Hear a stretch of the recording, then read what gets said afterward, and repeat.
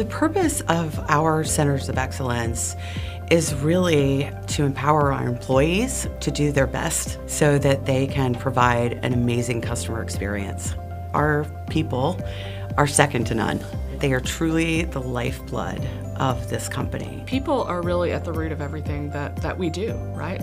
I mean, our vision is connecting people to the things that they care about most. And, you know, our, our people, you know, really make that happen. I worked in smaller companies where they didn't even know who I was. Just the personability of it, everybody treats you like your own. It was just a big family. Cox, Cox is family owned, and that trickles all the way down. It's not always just you know, business, business, business. You know, you want to have fun as a group together. I would really describe the culture as more of like a family. You can't not walk through the hall and not say hi to somebody. And I like that. I never worked somewhere like that. I think a lot of us want to go through life feeling like you're walking in purpose.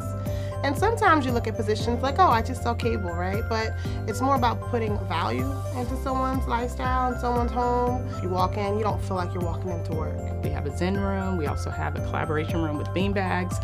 Um, we have a basketball hoop. It's attitude as you answer the call and, and throughout the call, really, that makes the difference.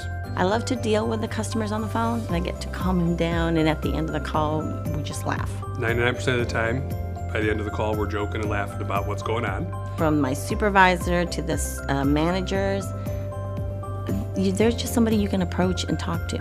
The fact that I am here nine years later is truly a testament to just how great it is as a company. If you're willing to come to work and work hard, you will be successful. It's just the love of working with people, the, the customer service, making their day, the variety of people that you meet, and how we positively impact them and they'll, they'll do what it takes to get that representative that wants to do a good job to be able to do a good job. You have room for advancement. A lot of companies will say that, but it's really out of your reach, even though they say it may be. It's not out of your reach here. You do your job, they will definitely notice it. And if you put in the effort, then they'll meet you halfway. Even with the best systems, the best processes, the best tools, it's still that interaction between two people that makes a situation memorable. They won't care what you know, until they know that you care.